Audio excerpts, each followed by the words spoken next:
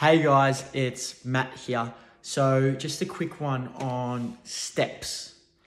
Steps. You'll notice that in your program, you will have a section where I need you to be tracking your steps.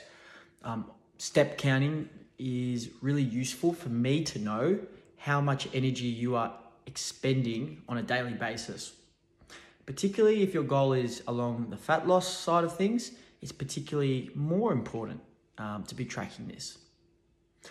So, with tracking steps, the most accurate way to track your steps is to use a like a smartwatch, such as a, such as a Fitbit, Garmin, Apple Watch, all the other hundreds of brands that you can also purchase as well. If you can't afford um, a smartwatch, um, the next best thing would be using an iPhone or an Android app that you can download. Now, the downside of tracking your steps using your mobile phone is if you do not have your phone in your pocket, which most of the time we don't always have our phone phone in our pocket when we're moving around the house or at work, then you are not getting the full picture of how many steps you're doing for that day. Okay, it's not going to track your steps.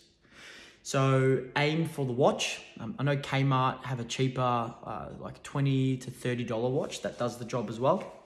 Um, if you can't get your hands on that, then use your mobile phone to track your steps.